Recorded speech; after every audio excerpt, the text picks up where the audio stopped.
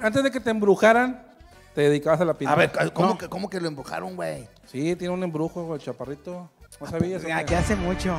Sí. Ah, ya hace como tres años que me embrujaron a mí ¿Ah, para, sí? para ya no trabajar. No, no, no, eso, eso no es de risa, ¿eh? No, sí, este, me empecé a sentir mal yo, este, yo iba a trabajar muy, muy gustoso y de repente dije, ¿qué siento? ¿Qué tengo?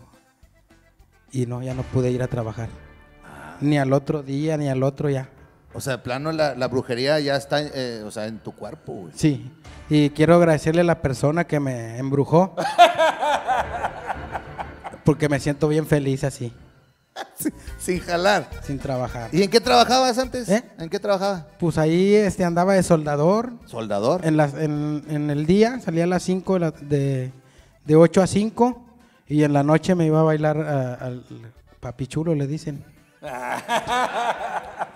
en la noche nomás. Pichulo es como este. eh, eh, Es como un- es un nightclub, table para de mujeres. hombres. ¿no? Sí, le bailaba a, las mujeres y me daban dinero. Ok. Ve, y Ahí bueno, es donde me alivianaba porque soldador no, no, no sacaba nada. El soldador no jalaba. No, no, no había lana. Porque me tardaba mucho en entregar los, los trabajos. Usted no es nada, no es primo de Samuel Botargas. No, tiene. También se tarda un chingo en entregar las botargas. Bueno, y, Sa- y Samuel, quién sabe si las entregue. Sí, quién sabe, se queden ahí, le pides el anticipo y dice, bueno, te lo voy pagando despacito, pero nunca lo paga, güey, tampoco el anticipo. Entonces, este, usted era soldador, entonces, pero sé que también es, este, escritor, Sí, soy escritor. compositor. De hecho, yo escribí un poema. A ver si tienen música ahí de poema.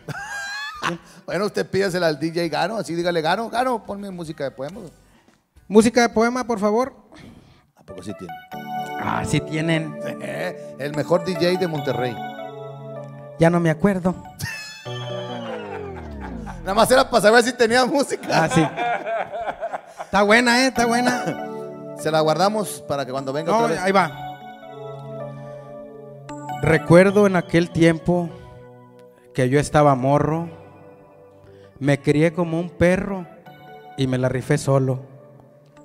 Yo nunca fui a la escuela, no conocí un libro. Y sobre las banquetas dormía muy seguido. Pero algo muy raro pasó de repente.